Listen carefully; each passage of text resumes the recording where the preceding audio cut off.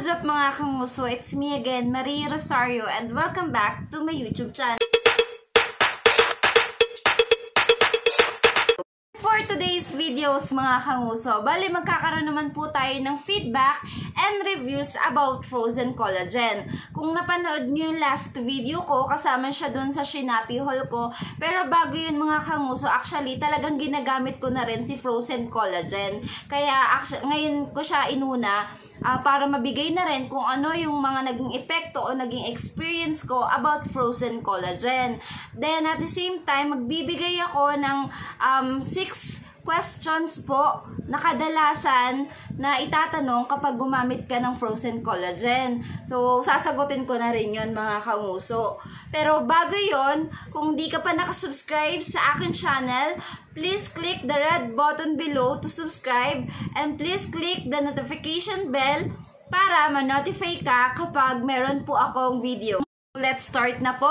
Unang-una, um, magbibigay ako nung aking experience about frozen collagen. So, as you can see mga kanguso, medyo light yung color ko, no? Medyo maputi po ako.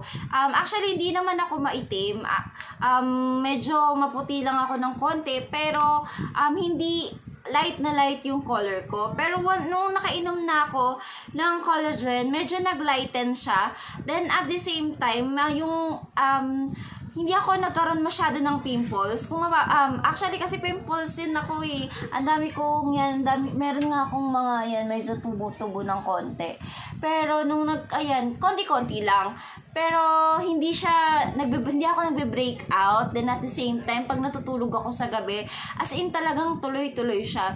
Before kasi, nung hindi pa ako nagtitake noon ng mga kanguso, um, nagigising ako ng madaling araw, hindi ko alam kung bakit. Pero nung nag-take na ako ng frozen collagen, ah, dire-diretso na talaga yung tulog ko. Hindi ko alam kung bakit. Siguro talagang masarap, masarap na yung tulog ko nung let's start na po sa ating frozen collagen packaging. So, ito yung frozen collagen 2-in-1 whitening times 10.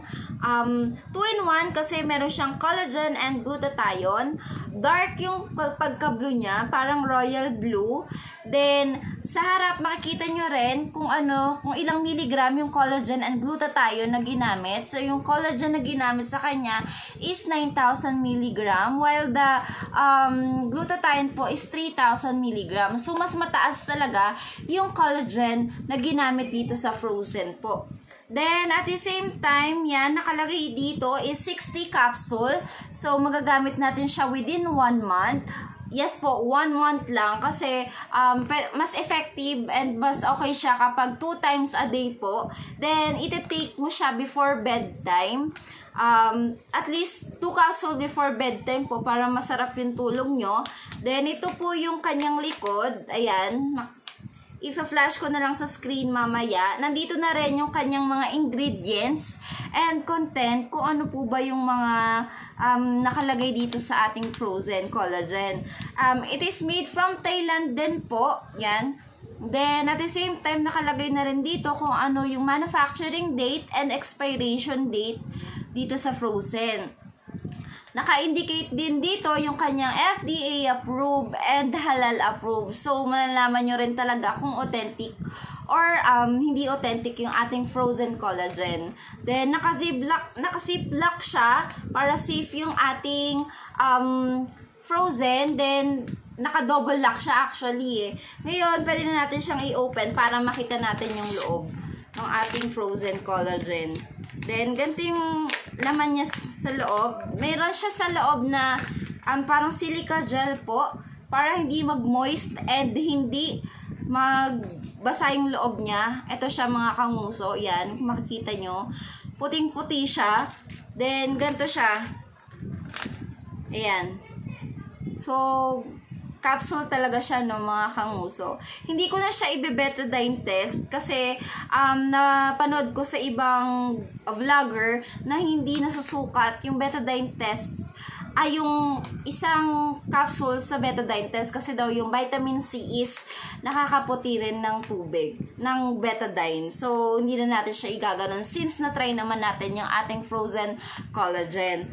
So, at the same time, ito yung price niya, no, mga kanguso. Actually, yung price niya is depende dun sa seller na bibilihan nyo, na alam nyong legit, na mga seller, online seller sa Facebook, And kung alam nyo naman legit, yung price kasi actually magkakaiba, depende yan sa area. Siyempre, uh, pinapadala pa natin yan kung saan saan. Then, yung effect nga nito, um, e- effect nito sa akin is maganda talaga kasi naglighten yung skin ko na hindi ako nag-breakout. Masarap yung tulog ko sa gabi. So, approved to sa akin. Then, um, yun nga, two times a day, uh, before bedtime yung pag-take nito ng ating frozen collagen. So, doon naman tayo sa benefits na makukuha sa collagen. Ano po bang meron sa collagen? Um, ang collagen kasi is actually nakakabata siya mga kanguso eh.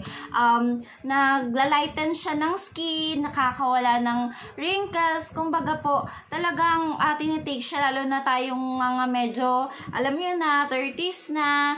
Um, gusto natin magmukha tayong bata, magmukha tayong young nakawala din po siya ng mga dark spots. Yan, for example po, may peklat kayo. Then, yung mga pinagtanggalan ng ating mga sumpa, yan, talagang may itim po sila. Nababawasan po talaga yon Then, nare-reduce niya yung ating breakout. So, ako, hindi na ako masyadong nagkaroon ng pimples sa nung nag-take ako ng frozen collagen. So, meron pang mangilan-ngilan, um, tinutubuan pa rin, pero hindi na kagaya ng dati. Then at the same time, nakakatibay din siya ng mga kuko, nakaka um, shiny ng hair, nakaka um, moisturize ng skin, nakakakinis din nga po bang makukuha natin na benefits sa glutathione? So, sa glutathione, um, isa din po siya sa antioxidant. Then, meron tayong skincare benefits na makukuha sa kanya. Um, nakakakuha din tayo ng brighten skin. So, nakakaputi talaga siya ng mga kanguso.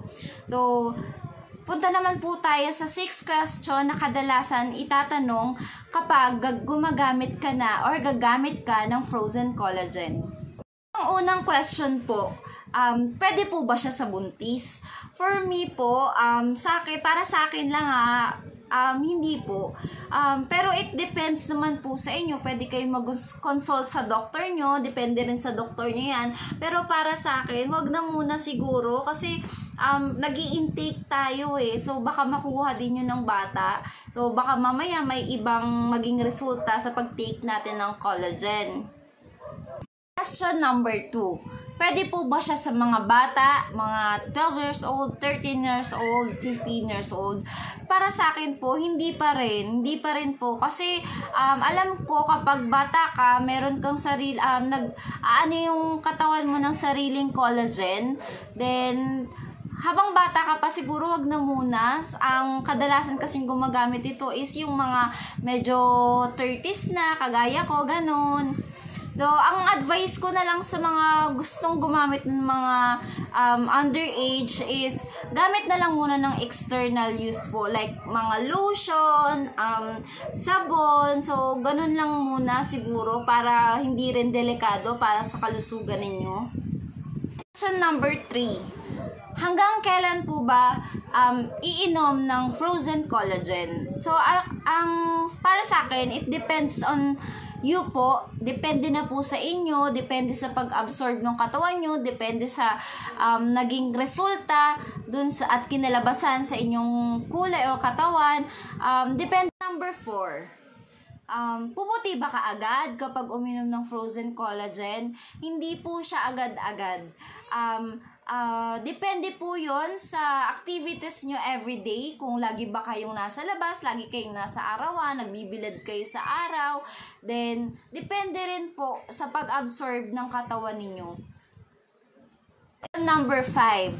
Um, ang frozen collagen ba pwedeng sabayan ng glutathione? For me po, it's, it's a yes po. Um, ang frozen collagen kasi is mas mataas yung content ng collagen niya compared to glutathione. So, si um, collagen kasi, alam naman natin mag, na medyo magkaiba yung kanilang um, benefits or ano, pero um, pwede pa rin naman pong sabayan ng glutathione. Like for For example, every morning ka mag-glutathione, then frozen collagen. Uh, sa, sa gabi po, question number 6. So, kapag nag-take ka ba ng frozen collagen, magbe-breakout ka. Um, for me po, it depends sa body nyo po. Uh, depends sa reaction ng inyong katawan. Pero para sa akin po, since na-try ko na, hindi po ako nag-breakout sa kanya. Um, um, medyo naging maganda talaga yung resulta sa akin. Nag-lighten yung skin ko, lalo kapag nasa araw po ako. Talagang kitang-kita nyo po yung brighten ng skin. Um, So, yun po yung masasabi ko about frozen collagen. Pero depende pa rin naman po sa inyo kung gagamit kayo or hindi. Pero mas maganda po is mag-advise mag-advise muna kayo sa inyong mga doktor, magpa-consult muna kayo, yung po muna kayo ng advice para mas safe and mas okay po yung paggamit ninyo. Para sa akin mga kanguso, thumbs up ako kay Frozen Collagen. And abangan niyo sana yung mga next vlog ko about dun sa Froza, then sa mga Shinapi haul ko na pampaputi, na affordable po. Um, kung nagustuhan niyo po tong video na to, um, please thumbs up po and please comment, share and subscribe na rin po. Thank you!